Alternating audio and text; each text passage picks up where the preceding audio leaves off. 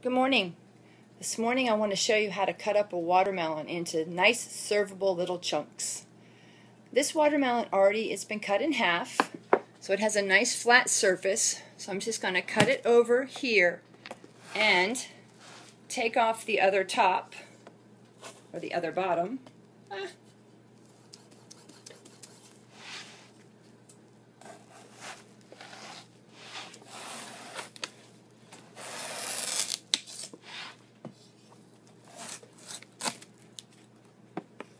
So now we have two flat surfaces.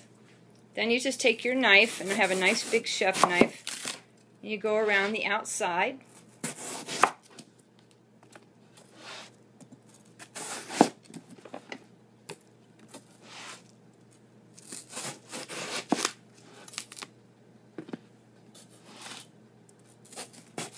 Like this. I do leave some of the white, but it really tastes just like the watermelon. So then here you have a completely nice ripe watermelon with no rind on it. And then I just come back through and chop long ways.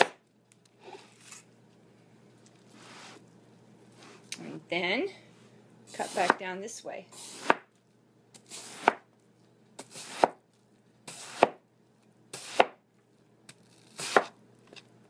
Last but not least, cutting through, making sure not to hurt your fingers on top. Keep your hands away from the blade.